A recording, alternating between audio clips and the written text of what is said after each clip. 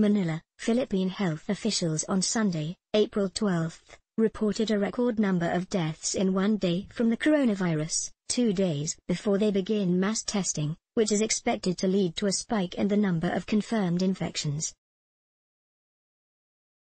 The Health Ministry reported that it tallied 50 more deaths from COVID-19, the disease caused by the virus.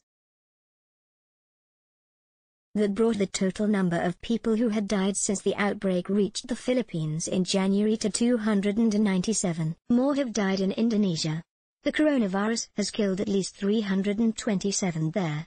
The Philippines also recorded 220 new cases, raising its total to 4,648.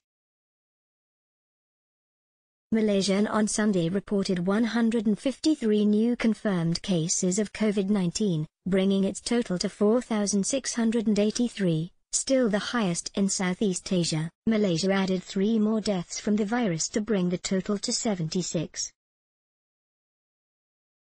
And Thailand, meanwhile, reported 33 new coronavirus infections, for a total of 2,551 cases, as well as three more deaths taking the nation's toll to 38. Coronavirus-related figures in the Philippines are expected to spike this month, as public health workers begin mass testing on Tuesday, April 14. The Philippines reported its first confirmed case of COVID-19 on Jan 30, but it was unable to test large numbers of suspected cases, as it had at the time just 2,000 testing kits in its stockpile and only one testing laboratory. The health ministry was forced to limit testing to patients who showed severe symptoms, fueling anxiety that the coronavirus could be spreading undetected across the Philippines. The Philippines has since received tens of thousands of testing kits from donor countries, including Singapore. A local university is also now able to mass-produce testing kits. Dozens of testing laboratories will also be coming online this month. Health Undersecretary Maria Rosario Vergeire told reporters on Sunday that over 33,000 patients had already been tested.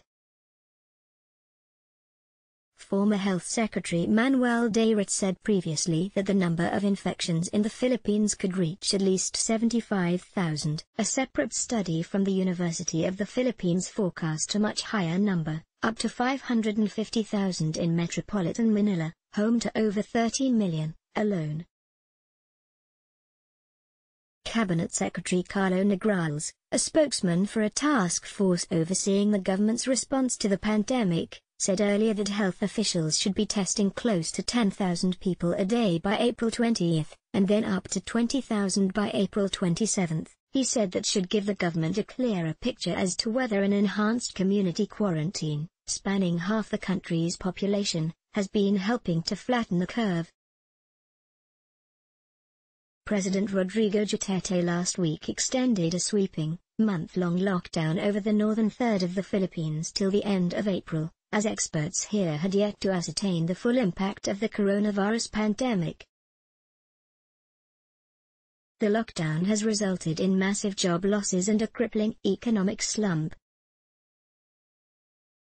Mr. Nograles said in a news briefing on Sunday the government has also decided to disclose to the public the personal information of patients who would test positive for COVID-19. This should enhance the contact tracing efforts of the government, he said. Related stories, let's block ads. Why?